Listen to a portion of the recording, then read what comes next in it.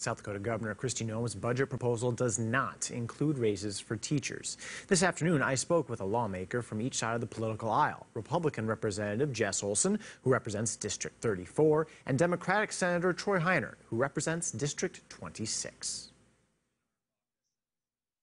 I think it's going to be challenging for people to hear that news and certainly disappointing. So, what it means is, and it's important to remember, this is a proposal and it's the legislature that needs to work on the budget. I think it's a mistake. Um, I was part of the Blue Ribbon Task Force, and in order to keep pace with uh, the increases that we needed, uh, we, are going to have to give those increases uh, to districts. Coming up later tonight on KELOLAND Weekend News, you'll hear what else these two legislators have to say on the topic of raises for teachers in South Dakota.